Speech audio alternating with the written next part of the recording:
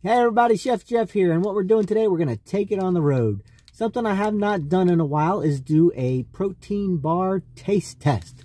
So today, we're going to be taste testing the Carmel Cashew uh, Barebell Protein Bar. It has 20 grams of protein, and we're going to go ahead and give it a try. We're going to go ahead and crack it open. You can see it has Looks like it's got nuts and lots of chocolate on it. It actually, it smells pretty good. What does it look like on the inside? Little, little gooey. Mmm. There we go. Let's see what's on the inside there.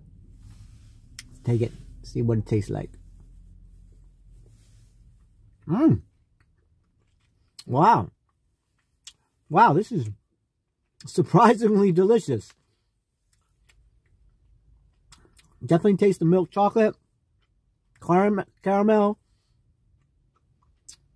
Man, my initial reaction is, I would say a, a 10. I don't think I've ever given a bar a 10 before. So, there you have it, folks.